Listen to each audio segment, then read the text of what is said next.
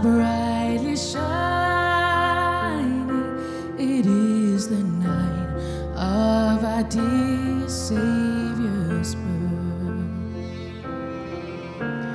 Long lay the world in sin and error pining till he appeared and the soul felt Thrill of hope, the weary world rejoices, for yonder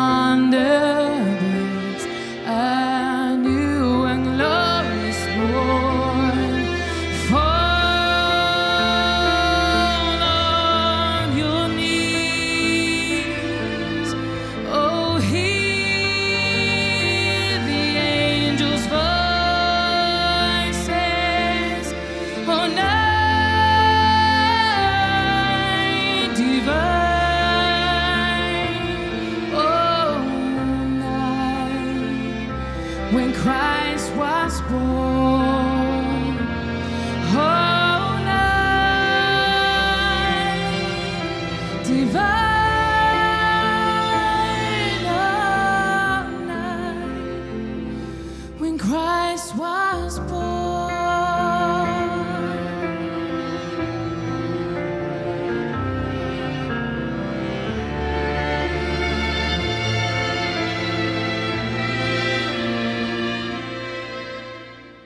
To Mary and Joseph, that night may have felt like the beginning.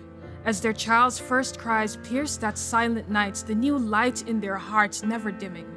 But to the one who sat on the throne high above, this lowly birth was just one event in what was to be the greatest act of love.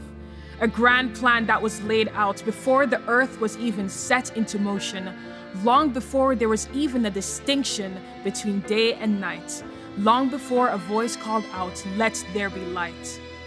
In the beginning, there was the Word, and the Word was with God, and the Word was God. And for ages to come, he would reign from the throne of heaven, revealing himself to the world that he created, preparing them for a time when he would come and dwell with men. Because in the beginning, God, long before he created us, saw the sin that we would be living in. And he knew that one day God above us would become Emmanuel, God with us. To dwell, not to visit, to be the Prince of Peace with a promise.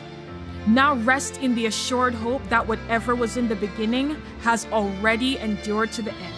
For on that cold night just outside Bethlehem, as the angel spoke to the shepherds, quivering in fear beneath them, it was an echo of the prophecies from the ancient days of a child who would be born to become the Ancient of Days.